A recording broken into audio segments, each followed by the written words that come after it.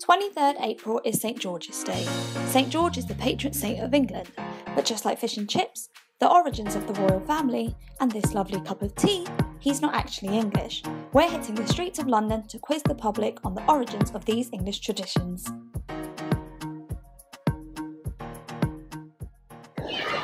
That's a tough one. India.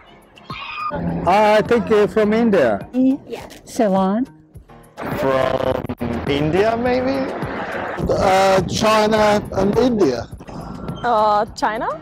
China, innit? China. Well, China. Yeah, oh, and then India, to China, yeah, India. Almost. Close, yeah. You're right. Okay, Okay. If, if it's not Great Britain, I don't know. They're originally from, I think, from here. no idea. From England? they are everything but English, to be honest with you. Wasn't. royal family. Yeah. Um, Dutch or Hanover. Hanover. The Windsors were originally uh, from Hanover in Germany. Horrible food. Do you actually know? I just know chips or fries. This comes from the sea, now I don't even know. I'm going to say that that one's British. I don't know. It's pretty greasy, so probably America. I don't know, probably some sailors brought, brought it here. I would have said UK. I've never really thought about it. I would say UK. Yeah.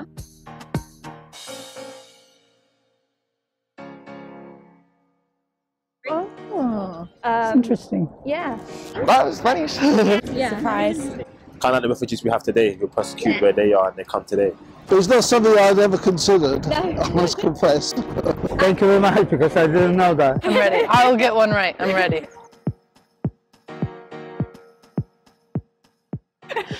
Well, if I had to guess, it's east somewhere.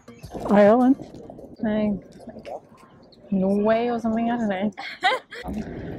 Oh. He's not British. I have no idea. Holland? Uh, no, not Holland. Spain? No, not Spain. Isn't he from Eastern Europe somewhere originally? I don't know that one. Not at all.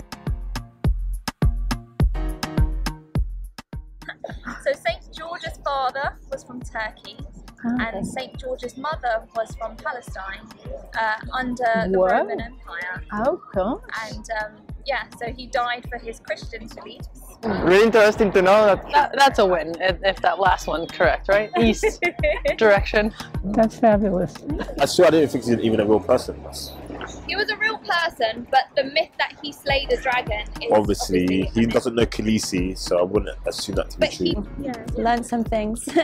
So this video, we try to show that being English means being connected to the rest of the world. Happy, happy St. George's Day!